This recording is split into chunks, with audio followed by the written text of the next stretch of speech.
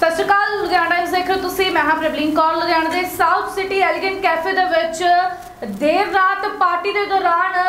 ਆਪਸ ਵਿੱਚ ਨੌਜਵਾਨ ਜਿਹੜੇ ਨੇ ਭਿੜ ਜਾਂਦੇ ਨੇ ਲੜਾਈ ਇੰਨੀ ਭਿਆਨਕ ਹੁੰਦੀ ਹੈ ਕਿ ਇੱਕ ਦੂਜੇ ਉੱਤੇ ਗਲਾਸ ਚੱਕ ਕੇ ਮਾਰਦੇ ਨੇ ਜਿਸ ਦੇ ਨਾਲ ਕਾਫੀ